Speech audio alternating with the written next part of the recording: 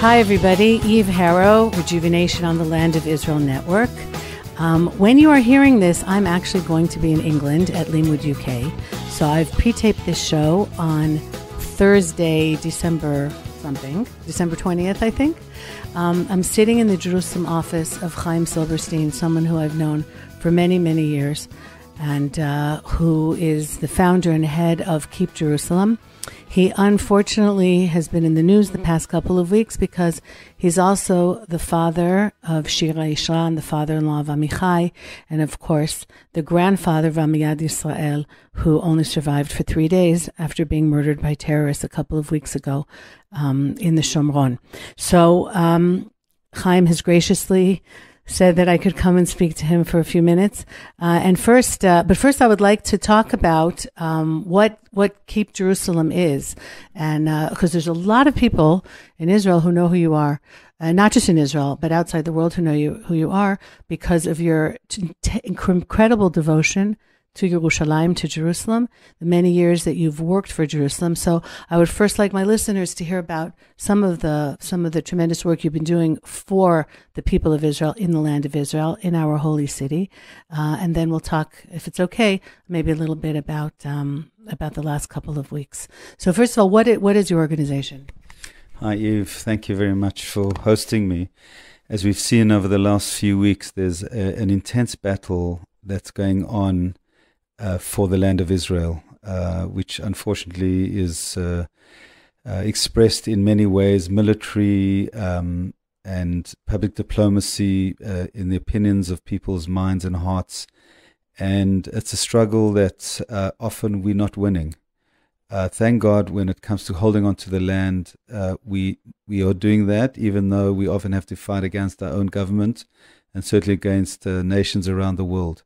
But in the uh, courtroom of the mind, uh, uh, public opinion around the world, there are many, many people that think that we need to give up on the land of Israel in general and on Jerusalem in particular, to divide up Jerusalem, to let the Palestinians create a state with Jerusalem as its capital. And we think this would be a disaster for the Jewish people, for the state of Israel, and for all freedom loving people around the world, and certainly those people who hold the Bible dear.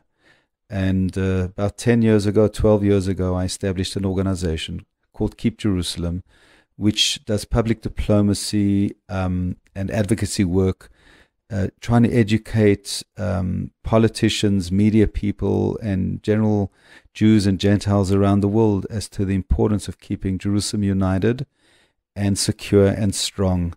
And after what's happened to us recently, our resolve and our realization how important this is is only being strengthened.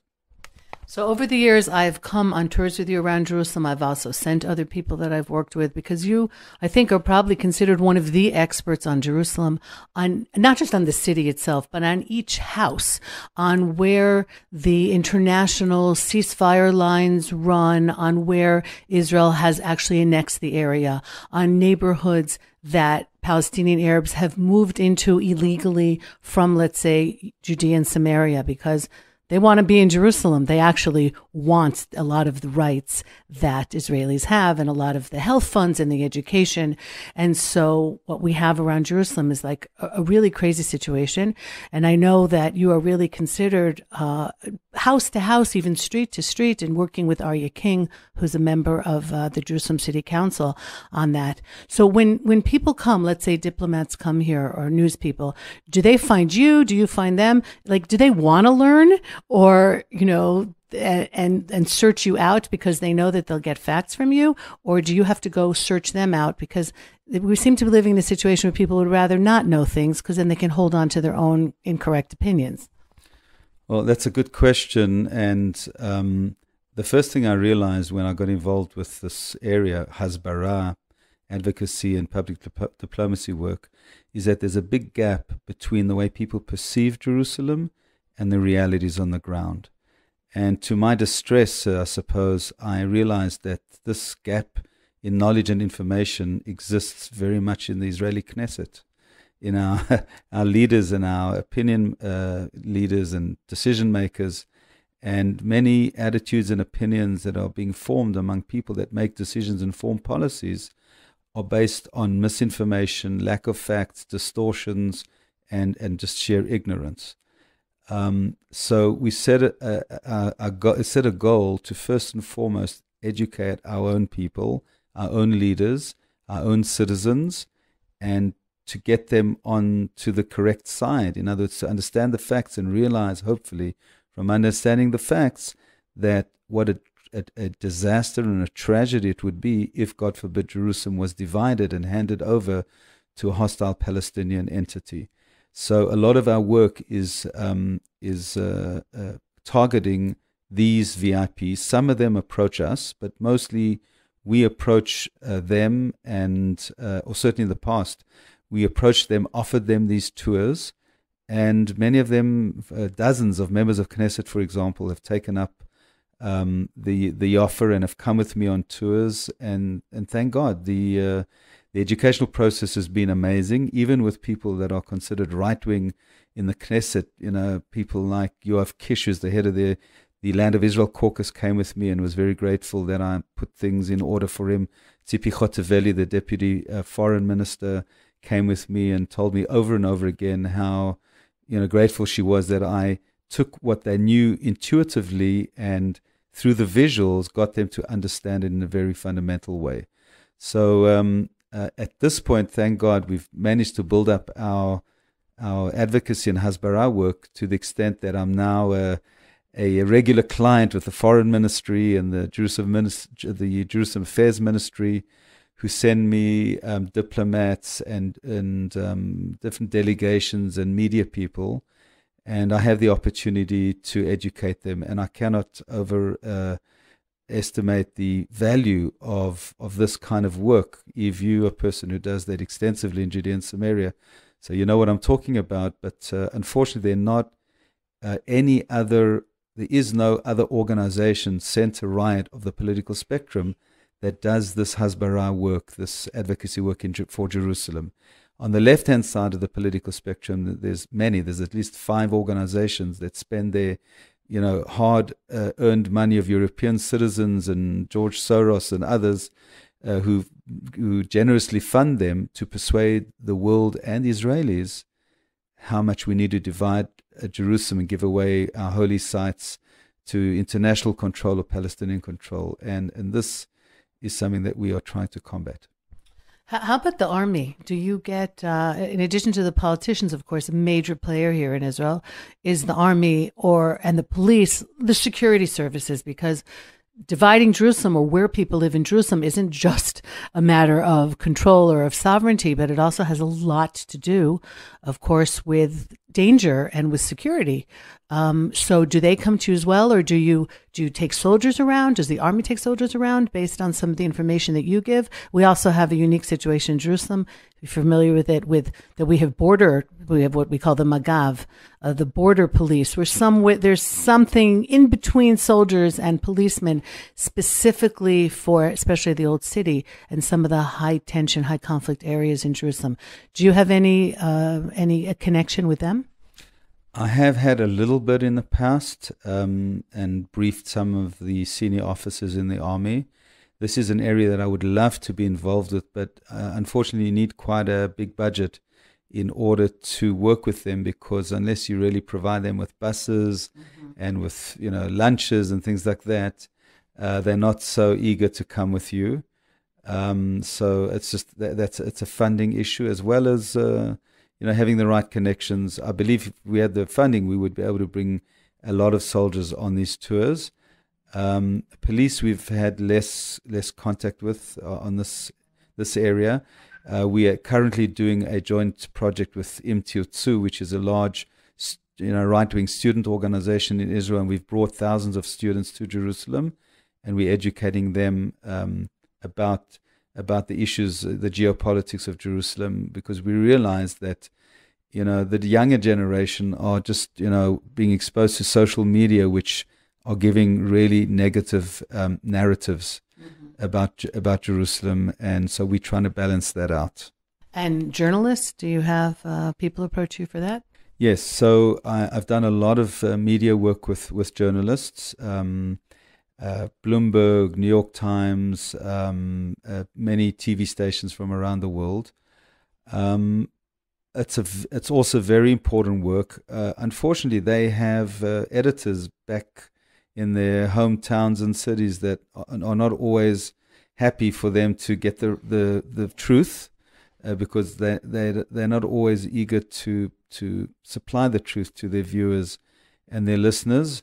But again, we try and, and work with media. We send out uh, invitations. Some people take it up. Uh, but usually I hear from them when there's some kind of tragedy, disaster, flashpoint happening, uh, and then they'll, you know, then they'll try and uh, do something with us, but with their own angle. So it's an uphill battle with them. Mm-hmm. One of the major neighborhoods, as, it is uh, outside Jerusalem right now, is Shuafat, which is actually under the control. It's considered a refugee camp. It's under the control of UNRWA. Do you think anything's going to happen now that UNRWA maybe will be defunded? Is there anything there that you think will change the status of what's happening in that part of the city? Okay, so let's uh, let me uh, share with you a, a factual, first of all, a factual uh, correction. The area we're talking about is known as the Shuafat refugee camp. There is actually a large uh, Arab neighborhood in Jerusalem, in north of Jerusalem, not far from the Shuafat refugee camp, called Shuafat. Um, the Shuafat refugee camp is actually quite a small area in a larger area, a larger Arab neighborhood, which is known as Ras Khamis. And those two neighborhoods, plus another couple small ones, are located outside of the security barrier surrounding Jerusalem, but still within the municipal borders of Jerusalem. It's a very complicated uh, situation. So, in this area called Ras Khamis uh, slash Shuafat refugee camp, which is situated outside the fence but still inside Jerusalem, live about 70,000 Arabs. Wow. And that is uh, a very complex demographic, security, and political situation the number of Arabs that live in, in the actual secure actual refugee camp, which is known as the Shuafat refugee camp, which by the way was not established under Israelis. It was established during King Hussein's uh, control in the 60s when he evicted Arabs from the old city and put them in a camp next door, Shuafat. That's how it got its name. Uh, Israel has got nothing to do with it, and it's got nothing to do with the 1948 war.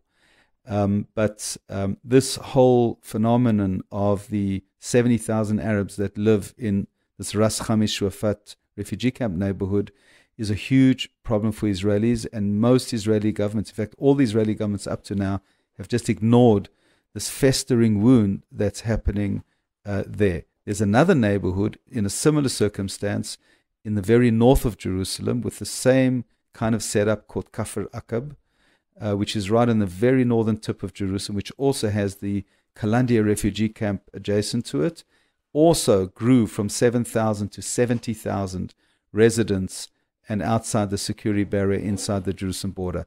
So you have a situation of 140,000 Arabs who are outside the fence but inside the Jerusalem municipality with Hamas active there, with crime, drugs, and a lot of bad stuff going on in these areas, and the Israeli government doing very, very little about it. Wow. That's really shocking. I uh, a couple of years ago, I actually went on a tour with Aryeh King to some of these areas, and I also interviewed him last year about the Israel Lands Fund, which shows that there is many much Jewish owned land. Like we talk about these refugee camps that were established by the Jordanians. All refugee camps, incidentally, were established by Arabs for Arabs, uh, not not by Israel. And that there is a lot of land in Jerusalem that is legally owned by Jews, but we can't find them. They maybe bought it before the Holocaust. British Jews and others from the 20s and 30s who perhaps were killed in the Holocaust. They're, if they had any descendants, they don't know about it. So uh, what, what are you doing on a legal level here? Because everybody's, you know, we've had Jewish communities that are destroyed because half of a house is on maybe so-called Palestinian owned land. And then we've had Netiv Avot and Migron and Amona destroyed. But in Jerusalem itself, uh, just on that legal basis, you do have land that is being lived on by Arabs but is owned by Jews. So li- laws are laws. How how do you work on that in order to perhaps solve some of those problems just on, on a legal basis? It's not even ideology here. So yes, uh, Eve, I, I, on various projects, I, Aryeh King's organization, my organization, mm-hmm. collaborate. We've been working together for at least the last 15 years. Um, but however, what I uh, kind of had a epiphany about uh, about 10 years ago uh, was the realization that the demographic and security and political problems that are facing Jerusalem, in order to be effectively dealt with, need to be dealt with by the government. Mm-hmm. And the government has ignored uh, the East Jerusalem situation for so many years because of Obama pressure, because of various prime ministers that thought that Jerusalem was going to be divided anyhow, so they just ignored it or neglected it. And this wound has festered and has grown to the extent that today, in the area known as Eastern Jerusalem, which is the area that was liberated in the Six Day War, included in the current municipal borders, live about 320,000 Arabs, which constitute 40% of the total population of Jerusalem. This is a what I call a demographic Trojan horse. And if this trend continues, and by the way, the number of Jews in Jerusalem continues to diminish because of lack of affordable housing and employment opportunities, Jews are leaving Jerusalem. And as you mentioned earlier, Arabs are coming to Jerusalem mm-hmm. to receive social security benefits and employment opportunities. So we have a, a situation where the number of Arabs is, clo- is quickly approaching 50% of the population, and the number of Jews is diminishing this is a problem which I, uh, as my, my personally as, as an organization, we are confronting. And I put together a team about two years ago of experts in on Jerusalem, world experts in international law like Ambassador Alan Baker and Eugene Kontorovich and uh, um, Nadav Shragai, a famous expert on Jerusalem, and uh, Yoram Ettinger and uh, General Gershon Cohen, people in various disciplines, and we came up with a policy uh, paper which we submitted to the Israeli government. Um, and this, we hope, will try and solve the, the problems on a macro level. It's true that this particular problem, uh, property had a Jewish owner, mm-hmm. uh, and we, and on that level, we try and reclaim and return these properties to their rightful Jewish owners. And um, in fact, just before you came in, I was talking to my lawyer, one of our lawyers, in, in a, a court case we've got coming up um, next Sunday. But we need a systematic, uh, you know, macro solution to the problem. In the uh, policy paper, we recommended a, a number of uh, solutions which we hope will change the demographics of Jerusalem from its current 60% Jewish, 40% Arabs to 85% Jewish or 90% Jewish and 15 or 10% Arab. Can you elaborate on how you're doing that? Do you, are you changing? Are you gerrymandering the city? Are you changing where different neighborhoods, some are in or some are out? Because based on what you're saying, somebody could say, you know what?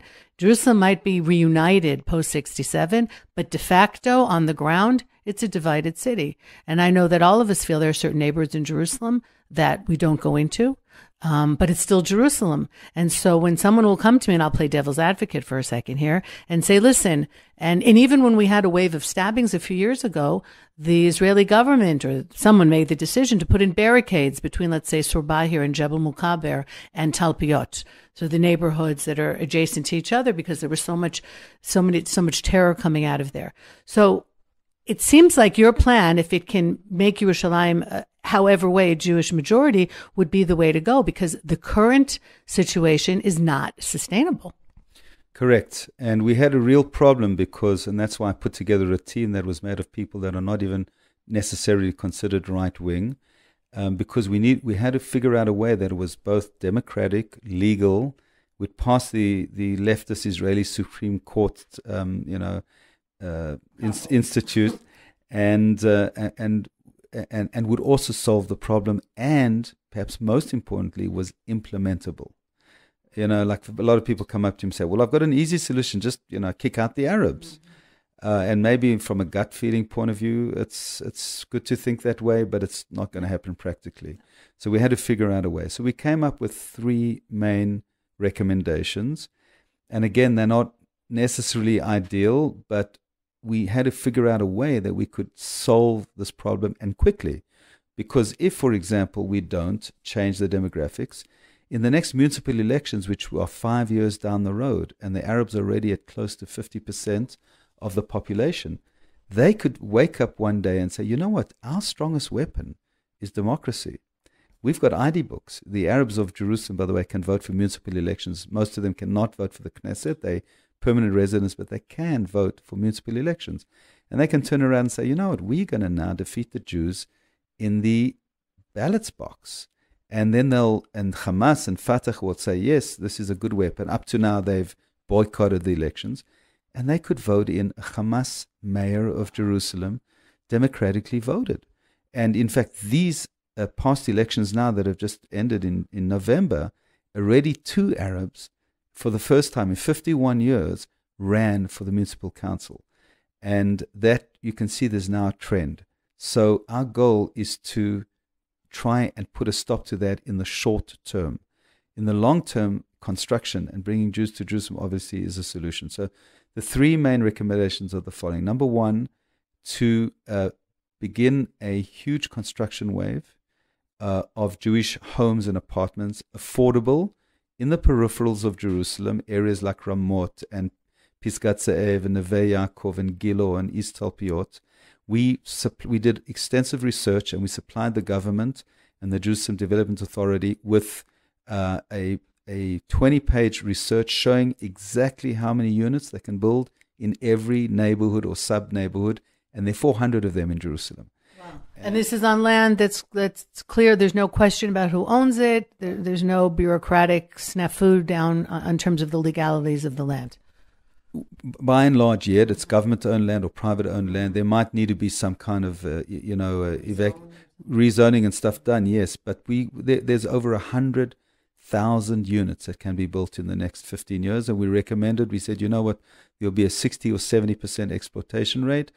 Here's a way that you can build 60,000 units, mm-hmm. and we rec- recommended the government to do that. That was point number one. Point number two is a plan which we didn't invent, which I'm sure you're familiar about, and that's called the Greater Jerusalem Plan. And this is a way of expanding the borders of Jerusalem to include uh, satellite towns around Jerusalem, towns like Ma'ale Adumim, Givat Ze'ev, the Gush Etzion area, Beitar Illit, and even Mevaseret Zion in the west. And if they could be incorporated in a greater Jerusalem municipality, what we call an umbrella municipality, similar to what you have in London, Paris, mm-hmm. San Francisco, New York, uh, where you have uh, like kind of borough situation where you have one mayor of the whole town, but you have boroughs that are have their own administration and management, so that they wouldn't feel that they've lost their independence. That would add on another quarter of a million Jews to Jerusalem. Um, the construction wave would add on another 200,000 Jews to Jerusalem. And the third um, recommendation we made, which also is can be immediately implemented, is the rezoning, uh, or you mentioned the word gerrymandering, redistricting of those two areas that are outside the um, security barriers, the Ras Khamis Shuafat refugee camp and Kafr Akab in the north, which have uh, together 140,000 Arabs living in them in actually a relatively very small area. Now, ideologically, we are against giving away any land to so called Palestinians or to any foreign entity. And therefore, our recommendation is to actually create new municipalities, Israeli municipalities, uh, for these neighborhoods, just like Abu Ghosh and other Arab towns. And they would be under the Israeli um, Interior Ministry and they would receive separate budgets, but they would be legally outside the municipality of Jerusalem. This would reduce the number of Arab neighborhood uh, voters in Jerusalem from 320,000 uh, to uh, 140,000 less. And that would have an immediate and significant effect on the ability of the Arabs to take over the city. Hmm. Not to mention, of course, that anybody who's been living and getting money from the world as a so called refugee, at some point that problem has to be solved. And people who are refugees need to be resettled. You can't have it both ways. You can't take money for 70 years as a refugee. And then when someone has an idea, and hopefully someone will, to resettle you, to say no, it doesn't cut both ways. So that would also help to lower that. But I, you know, I remember like the Atarot airport, for example, which is technically in Jerusalem it is now closed for security reasons because we can't have planes landing in Jerusalem. I remember taking a flight out of Jerusalem years ago.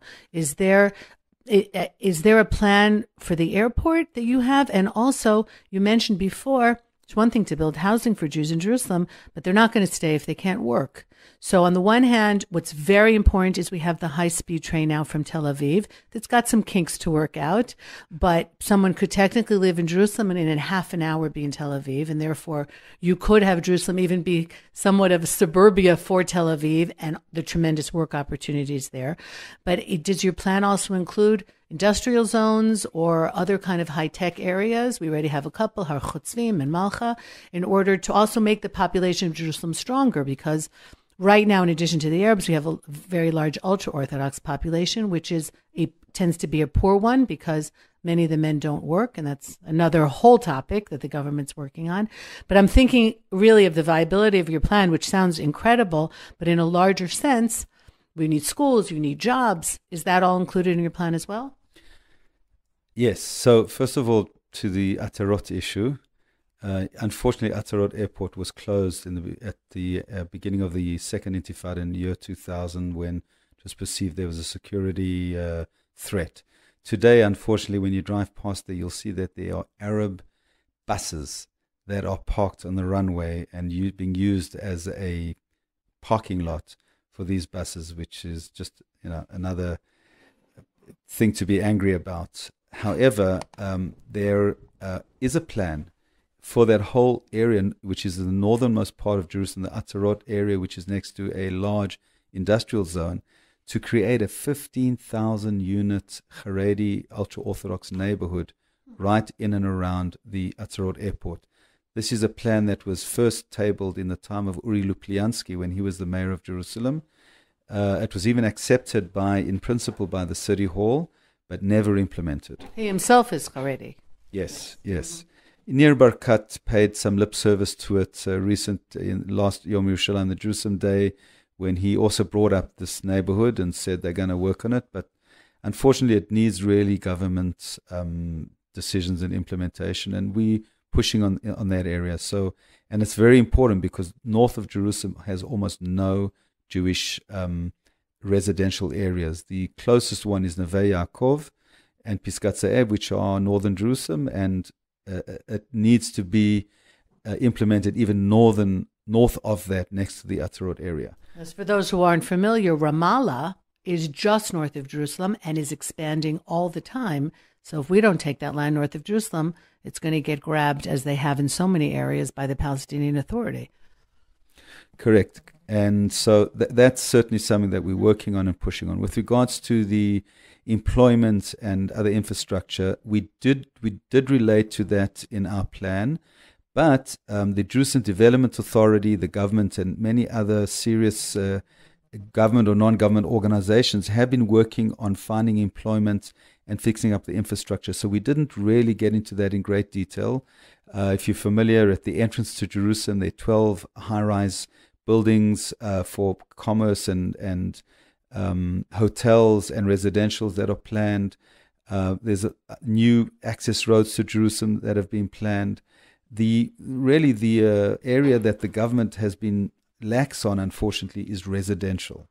In other words, they're planning all these great things to provide uh, employment, but they never and have not until recently um, planned and implemented major construction uh, uh, zones and areas in Yerushalayim. And this is what we have managed to contribute to try and you know complete the picture to fix up the the terrible demographic uh, threats that are facing Jerusalem today. So yes, if we build those 60,000 units and the we develop all the commercial and industrial potential that that Jerusalem has and bringing a lot of the defense ministry offices to Jerusalem which is planned but also a, de- a decision has been made but not yet implemented, then the employment and, and transportation infrastructure will be in place in order to support the, the large increased number of, uh, of, uh, uh, of residents in Jerusalem. Also, Mobileye, um, you know, the big uh, uh, autonomous driving and accident prevention company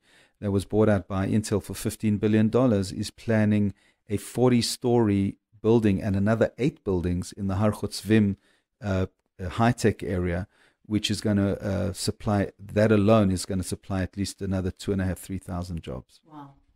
So these are big plans, but Jerusalem deserves no less. I know one of the other issues because as a tour guide, I meet people all the time that we have between 50 and 60,000 apartments in Jerusalem that are owned by foreigners, which is lovely. And there are people who don't live here who want to own a house in Jerusalem. But it also means that what we've had mainly are luxury buildings going up because that's what people want, and areas that remain dark during most of the year. And uh, so Jerusalem really needs a major, major cohesive plan. And it sounds like you have come up with a great piece of it if anyone is listening, like like me, and saying, "Well, what can we do?" I mean, how uh, you know, I I'm not a Knesset member. I have access as you know much less than you do. Um, what can we do as people who care about the city, who want to keep the demographics on the Jewish side, but also on a day to day level. It's Yerushalayim Shel Mata, not Mala, as they say. It's, it's a real breathing city that needs garbage disposal, that needs school services, that needs to exist. We've had a rise 38% more tourism to Jerusalem this year, which is a wonderful thing. But again, as a guide, I see the infrastructure straining. We don't have enough hotel rooms. You know, we don't, the roads aren't wide enough. Sometimes just to get into the old city can take an hour just for the bus to get around the old city. There's certain limitations, of course, is what we can do because it is an old city. Um, but just there needs to be just one collective, I think, with every ministry that there is in order to really focus on this city and your so aptly named organization, Keep Jerusalem. So, what can we, as people who care, uh, do to, to or is there anything that we can do to, to help you move forward with this? Absolutely, Eve. You know, the there are many plans available to develop Jerusalem into a greater metropolis and to keep, and by doing that, to keep it united.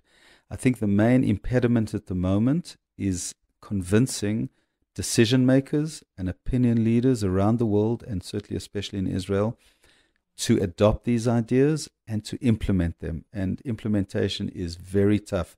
Just to give you an idea, since the 1967 war, the government uh, took more than 500 decisions re- re- relating to Jerusalem, and only 30 of them have been implemented. Wow. Um, so that is a really tough one. And as far as we perceive the geopolitics of Jerusalem, it's true about Judea and Samaria, but certainly about Jerusalem, uh, is that we need to try and garner foreign support in friendly countries like uh, the United States of America and Canada, and now most recently Brazil, who's a big player uh, in in South America. And if we can get those countries to, um, uh, you know, to send the signals to Israel that if Israel uh, passes policies, and in fact, by the way, two laws have been passed based on our policy paper already. Actually, one law has been passed, one's in the freezer at the moment. But um, if those countries can send out signals to the Prime Minister, Netanyahu, and to the government, that if they implement those policies, they will tacitly support them or at least turn a blind eye or etc., that, that would be a great help to us. And this is a whole campaign that I've been planning out and I'm going to be doing in the next year at least. Um, I was in Canada recently, met with some members of parliament, and I'm, we're working on a on a Jerusalem uh, campaign in Ottawa in the next few months. I was in Brazil in August, met with the uh, son of the future prime uh, new president of Brazil, Eduardo Bolsonaro, and I gave him a briefing about Jerusalem and about moving the embassy. Two days later, they announced uh, that if he becomes uh, president, he'll move the embassy to Jerusalem, and Brazil hopefully we'll still do that. Bibi is going to be at the inauguration ceremony in an, in another couple of weeks. Um, so the work that we're doing now is, on the one hand, to continue to educate and um, convince Israeli politicians to uh, understand the situation, to to adopt these policy recommendations and to work towards implementation on the one hand, and on the other hand, to build up a support infrastructure, a tailwind around the world, but especially in the United States, so that Israel feel, will feel comfortable implementing it. So anybody who can help with meeting politicians or doing hasbara work, uh, advocacy work in whether it's in Jewish or non-Jewish communities, so that the the uh, grassroots and the constituents can swell up and convince their senators, their congressmen, and their leaders to you know to adopt it, to support it publicly, and give Israel the feeling that it can go ahead. That's very important for us, and also certainly all this work requires extensive funding um, which you know Keep Jerusalem always tries to raise. We are a non-profit organization that relies entirely on donations of supporters.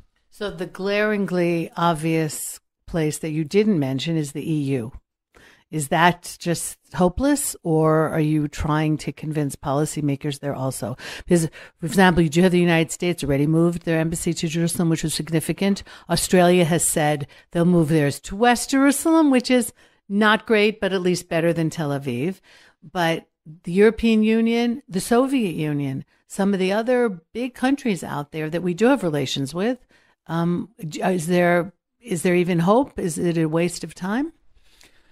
The EU is a dismal institution um, made up of a lot of anti Semites and people that support our enemies or enemy organizations or hostile organizations, and it's very sad especially because they are committing political and, in many ways, physical suicide by their policies and by their lack of response or appropriate response to terrorism that's happening in their own countries. Um, so it's very difficult for us to work with the EU.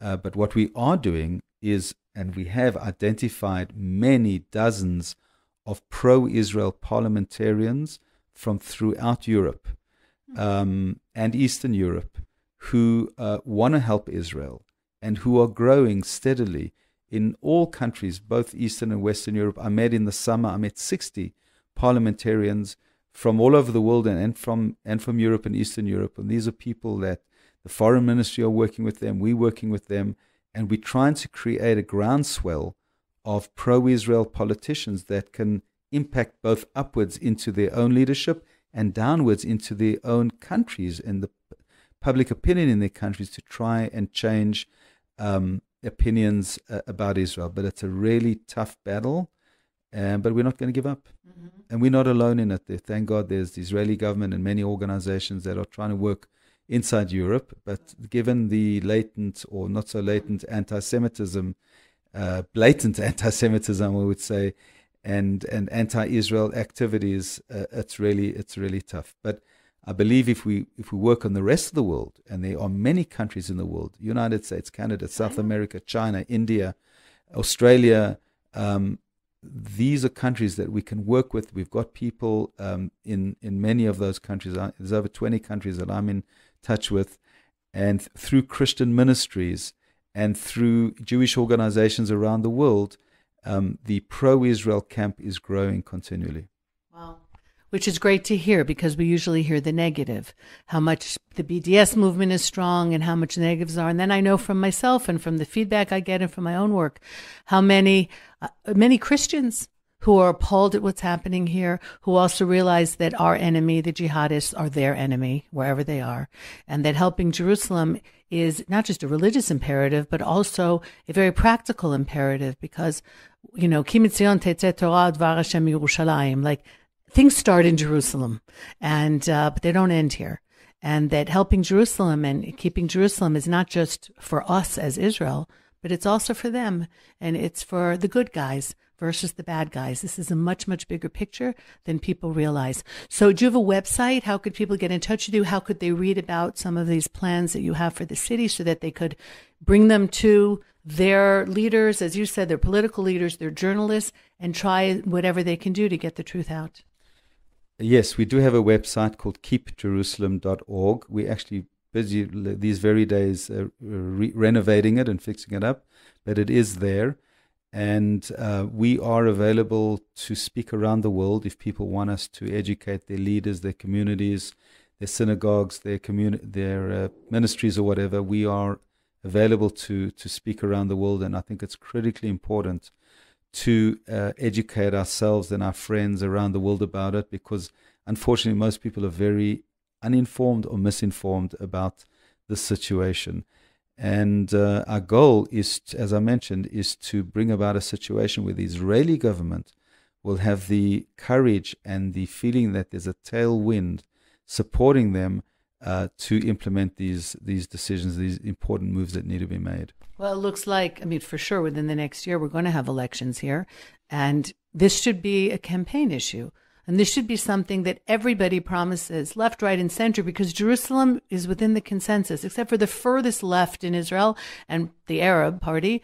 Um, this should be a no brainer for anybody who's running for prime minister, anybody who's running for Knesset, that we want to hear what are their plans for Jerusalem. And this is a question that every single person who's running for office should be posed at this point. This is a critical year for us here. Absolutely. And in fact, we have an event uh, next week in Israel in Or Yehuda um, on, you know, part on some of these issues. And, uh, you know, we hope that over the next year, both in the United States and other friendly countries and within Israel, we will be pushing to uh, have Hasbara advocacy information events uh, so that we can bring about these changes that have been largely ignored over the last uh, 20, 30 years. Okay, so um, I, I, think you really illuminated a lot of a lot of the issues about Jerusalem for us here, um, and I know that these days you are you're not sleeping much, and we're sitting here in your office in Jerusalem, and you said to me when I asked if I could come and talk to you, you said, "Look, I'm only in the office in the mornings, and then in the afternoons I go to the hospital." So please, first of all, please tell us what's happening with your daughter Shira, with her husband Amichai, and um, and for those of you, well, I'll let you I'll let you talk about what happened in the last couple of weeks.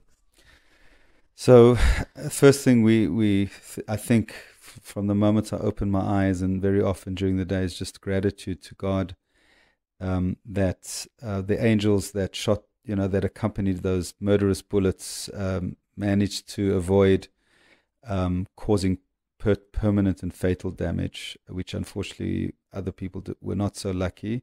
We know that two soldiers were killed and one is uh, critically, still critically injured. And my heart goes out to them and their families. It's, it's a very, very tough situation to be in, heartbreaking and heart wrenching. On a personal level, we're just very grateful that our kids' lives were saved and that the prospects of their recovery are very good. We don't know if and what permanent damage there will be. We know that our daughter's uh, abdomen and legs are, were, were very badly injured. Our son in law's leg received three bullet wounds, and we, we don't know exactly how well he'll be able to use it. But in relative terms, obviously, um, their lives were saved and they are in relatively good spirits. They lost their first baby, which is, is shattering, um, but they're alive, and, and we hope you know they will have the opportunity to bring many more babies into into the world. So Shira and Amichai continue to improve. Shira had a critical operation a couple of days ago, uh, which closed up her, her 15 centimeter, about a, an 8 inch uh, exit wound from the bullet. And uh, this is giving her a lot of pain. Uh, she's been taking painkillers, which are not always helping. And Amichai uh, is also got some pain from the bullet wounds in his leg. We hope that Amichai will start rehabilitation next week, and uh, Shira is still going to be in the hospital being monitored for that and other wounds that she has over the next uh, seven or eight days. Where were you when you heard that uh, that they had been shot at the bus stop outside of Ofra on their way home to Elon Moreh? I was actually sitting in a meeting in Beit El, where I live, uh, a, actually a political meeting. I'm on the city council there. And ironically, I was just talking to my my co-party member about the uh, defense committee of Beit El and whether we're going to chair it or not chair it. And as we were talking about that, the security committee, my friend said to me, "Wow, there was a terrorist attack in Ofra, outside Ofra." And I said to him, "Oh my gosh, my kids stand there very often because not only does my daughter and son-in-law, you know, take rides and buses from there to Elon Moreh, but I've got two other daughters who study in girls' high schools, one in Ma'ale Levona, which is on that route, and the other in Neve Tzuf, which is on that route. And, uh, you know, I figured I'll phone just to make sure every, everybody's okay. But before I had the chance to even do that, I saw on my phone my son in law calling me, and my heart just dropped to my feet.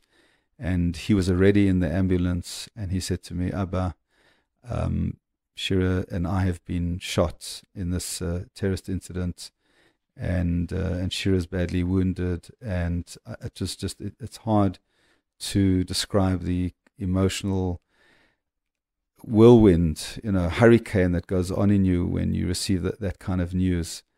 And um, uh, the good news, he said to me, was that Shira was conscious at the time.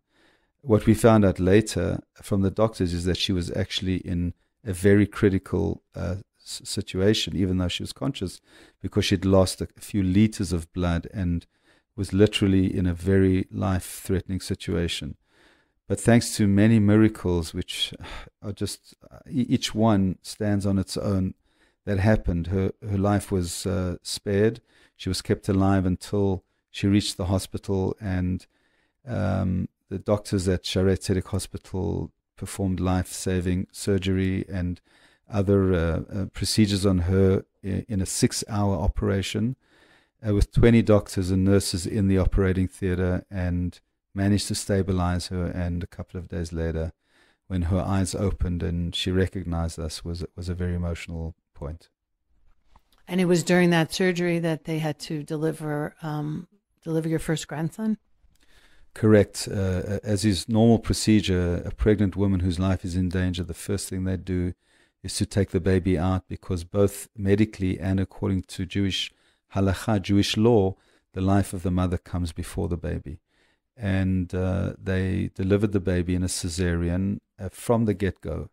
He he was in severe uh, and critical condition. In fact, they had to resuscitate him right after they delivered him in the C-section, and because he had not received uh, blood or oxygen for the whole period that Shira uh, had been injured for around about an hour since the time that she was uh, shot until they got her out of the a casualty, the emergency room, and into the operating theater was about an hour.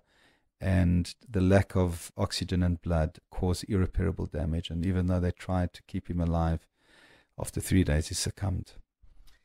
It's there is a question with a child so young. If you even have a funeral, um, how does how does Jewish how does how does that how did that work in this particular case? Um, it's not always that there's actually a funeral for for a child who hasn't lived, I think, even a month. So how was the decision made to um, to actually t- to bury him in in a formal uh, funeral?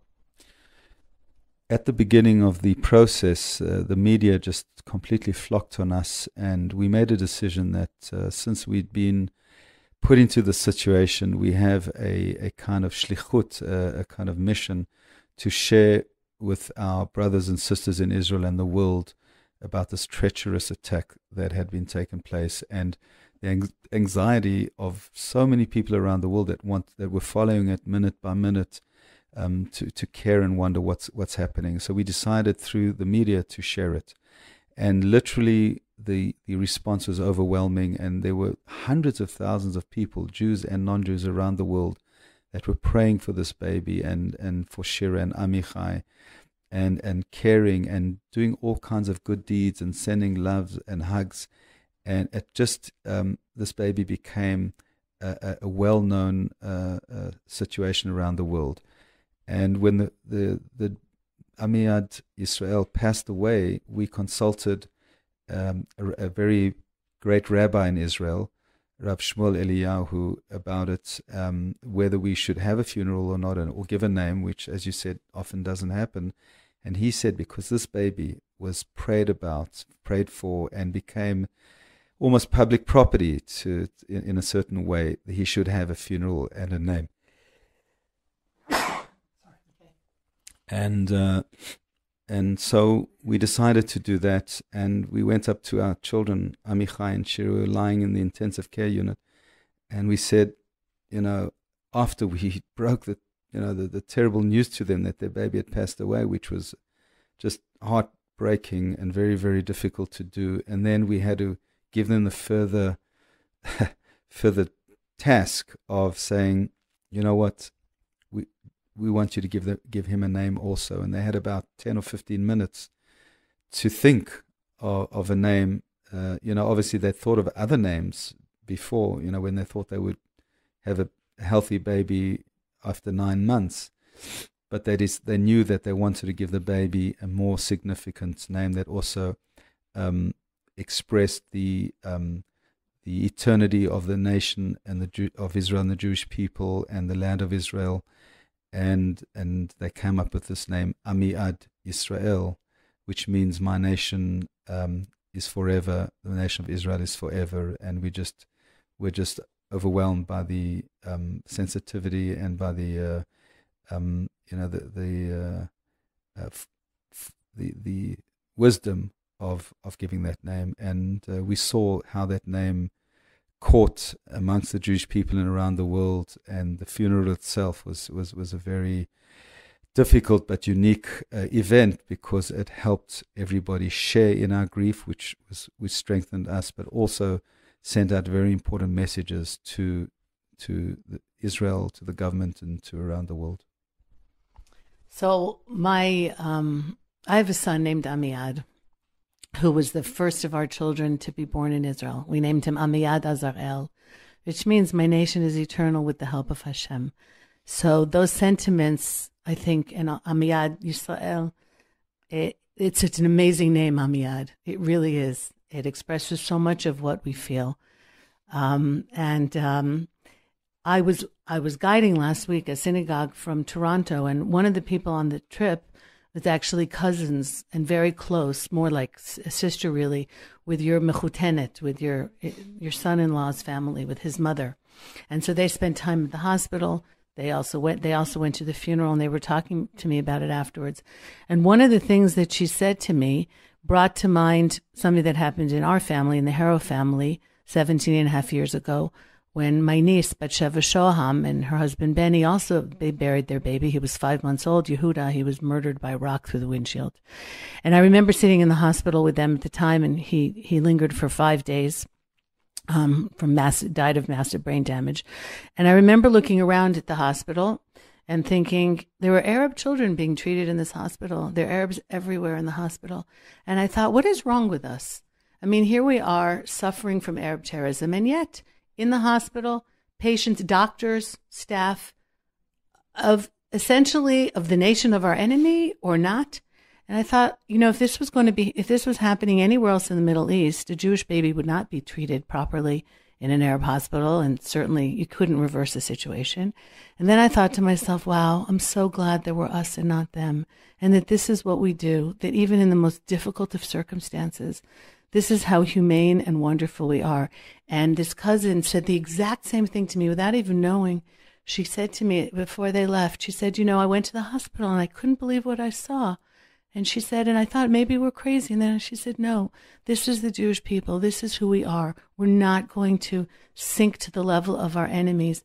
And I have to say that not once in this entire conversation that we've had, and this just echoes other conversations that I've had with people, have I heard a word of hatred from you about there's no like revenge let's run into the next Arab village and and and beat them up or do something because of what they did to our family.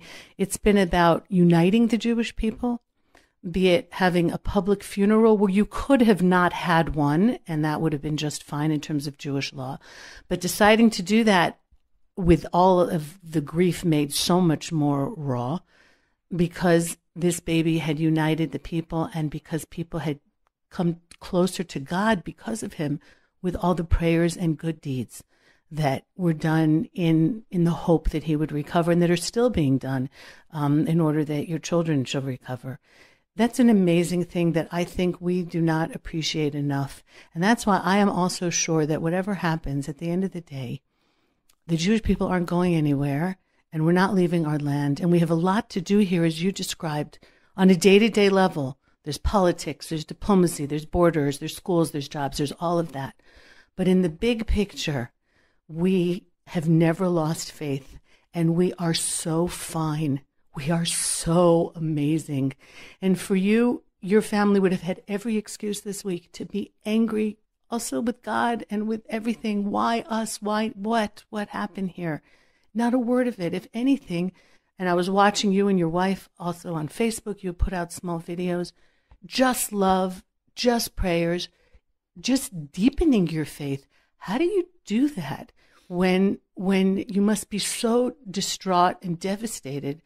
And and perhaps it's even worse because it's happening to your children. It's one thing when bad things happen to us, but it, when it's happening to our children, there's a at least I have felt there's a sense of helplessness because we can't do this for them. We can't get them through the grief.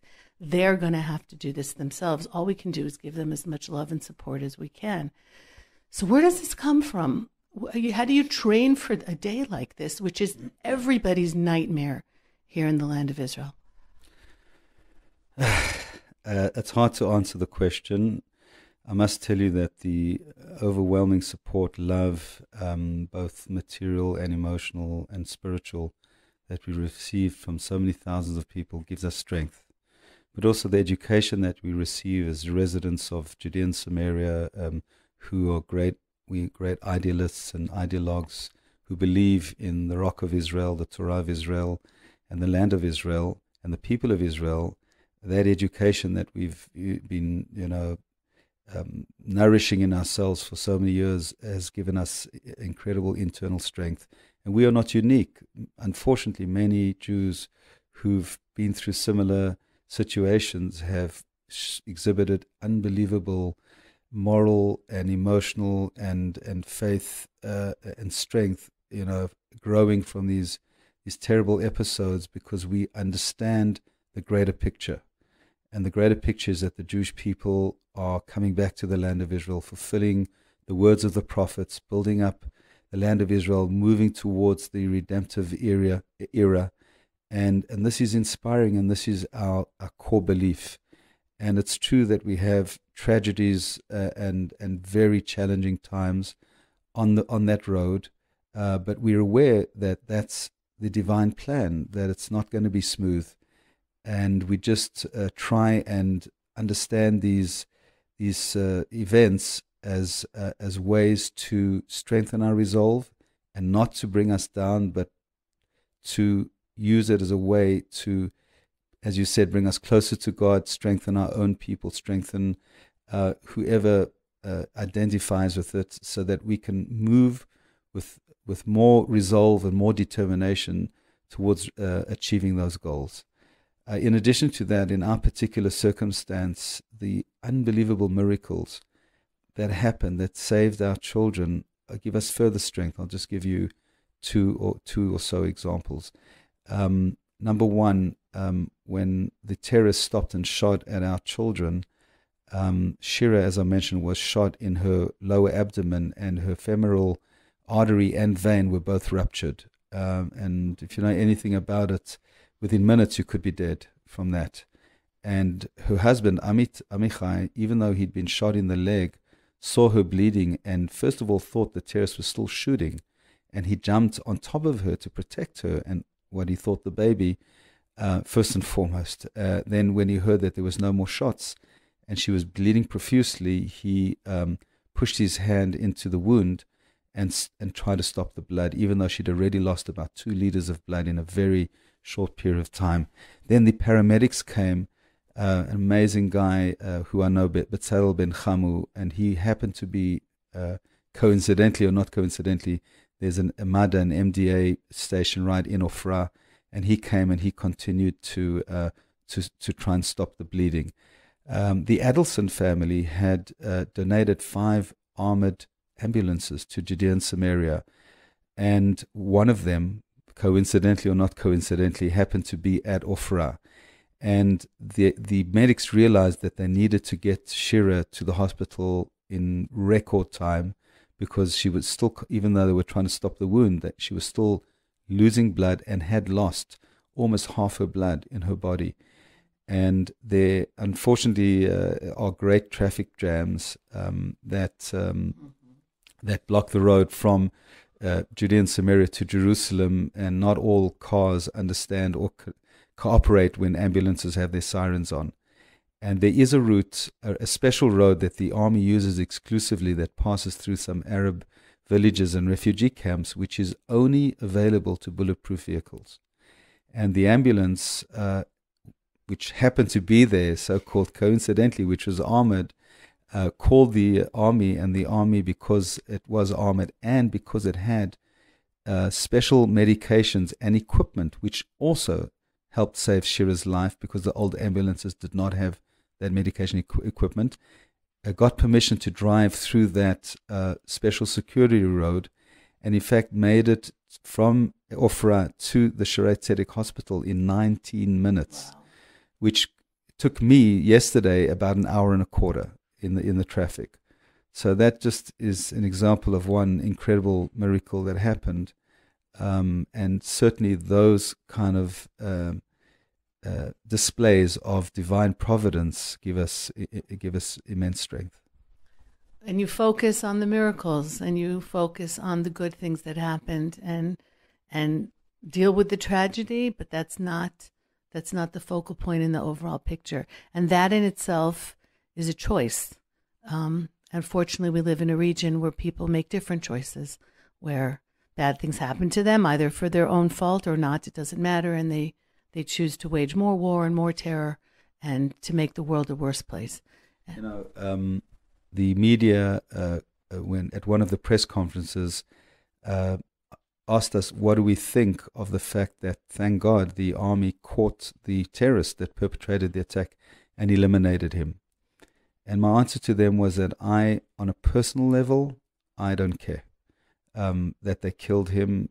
Um, you know, I don't have that personal drive for revenge. But on a national level, I think it was very important that they, they got him and that they killed him because what we need to return to our country, and I said this to the Prime Minister and to the government in many times of the various times I was interviewed in the media, we have to return deterrence because the terrorists have to know that there is a price for this terrible, uh, murderous, and merciless, vile actions that they are doing against our people, attacking innocent, pregnant women and men uh, on the roads, and returning deterrence and providing strong and forceful responses is uh, is a very merciful thing to do. Um, it's not my you know, personal desire for revenge, but it's my personal desire to give security and safety to the brave people that are living in Judea and Samaria and, and over the rest of Israel. So, yes, I was happy, very happy that this terrorist was eliminated because hopefully, together with all the other, um, you know, activities that the army and the security forces are doing, will maybe in some way strengthen and return the deterrence and save more lives. Okay, Chaim Silberstein, I'll let you get back to work or probably now to the hospital. Um, it's going to be a long road back for them. And uh, I know that not everything that they're going to need is going to get covered by the government. If people are listening and want to help um, be a part, a practical part, in addition to the prayers of their recovery, is there anywhere, is there a fund or anything that they can give to that will help this couple in the months and possibly in the years to come? Yes, unfortunately, there there are mounting expenses uh, uh, as a result of this terrible tragedy. One of them is our desire to buy our children a car uh, because we do not want them standing at bus stops and and hitchhiking uh, stands around Judea and Samaria where we all live. Uh, also, we don't even know if their medical situation will enable them to stand or to walk. Uh, we hope it will. Um, and that is one uh, campaign that some of our friends friends have, have launched recently to help them buy a car and a lot of other things that they're going to need in in the coming months and years. Um, friends of ours have set up a kind of fund me uh, site. I think it's through Mighty Cause. Um, I presume there's a website called Mighty Cause and uh the reha- Rehabilitation of Shira and Amichai Fund.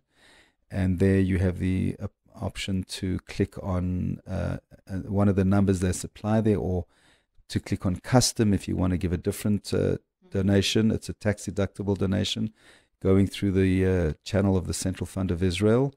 And uh, we would be very, very appreciative if people would help support that. So that's something I think that we all need to participate in. And if you are a little confused or didn't catch that, you can, of course, always write to me, eve at the land of You can write to me anyway, in general, about any, any comment that you have to make. I'm always so glad to hear um, from all of you. So I just want to thank you, Chaim, for um, for speaking to me today, for the work that you continue to do for Jerusalem, and for your faith in a time where it's you've really been tested. And I think that you and your family, um, in this terrible tragedy that's happened to you, have inspired many of us to be better, to do better, to come closer to Hashem, to bring our people closer to each other. Um, because if you can do that uh, in such a difficult time, then the rest of us really have no excuse. So I want to thank you for everything that you do and that you will continue to do. And of course, from the bottom of my heart, full recovery for Shira and for Amichai. And we are all looking forward and all everyone else who has been hurt for the past years. There's many people still suffering many, many years down the line from injuries that they suffered from terrorism. And I know that we are all looking forward to um, seeing them interviewed in years to come in a house full of children. So thank you again. And thank you everybody for listening. Um, thanks to Ben and to Tabitha and everybody at the station. And uh, that's it. Eve Harow, Rejuvenation on the Land of Israel Network. Take care, everybody. Goodbye for now.